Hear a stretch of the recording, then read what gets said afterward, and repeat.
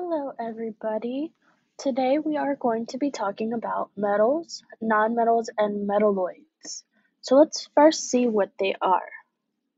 So on our periodic table, we have three major groups of elements, and these are metals, metalloids, and nonmetals.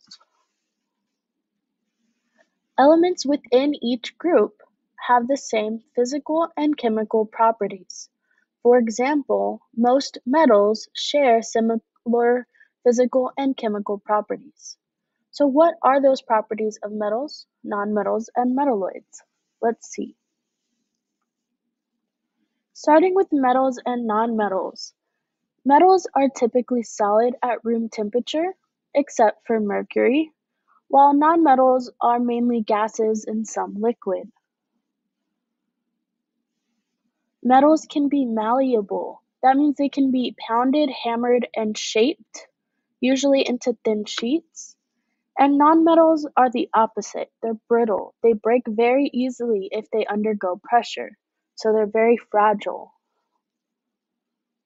Metals are ductile, that means they can be drawn into wire. And nonmetals are not ductile, so going back to them being brittle, if we try to form them into wire, they are just going to break. Metals are lustrous, so they're like Tamatoa from Moana. They're shiny, they're metallic, and nonmetals are exactly the opposite. They're dull and they're non-metallic.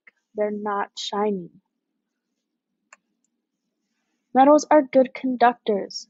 That means they allow energy and heat to easily pass through while nonmetals are insulators. They do not allow energy or heat to easily pass through, which is why we use nonmetals as pot holders to keep us from burning our hands. Metals have a higher melting point, which means they need a lot more heat to melt, while nonmetals have a lower melting point, so they can melt at a pretty low temperature. As far as where they are found on the periodic table, you can see that metals are found left of that zigzag or staircase, which you can see right here, except this one little block. And on the right of the staircase or the zigzag, you can see our nonmetals, and that one little block is now full. Now let's talk about metalloids. They're kind of like the oddball in the periodic table.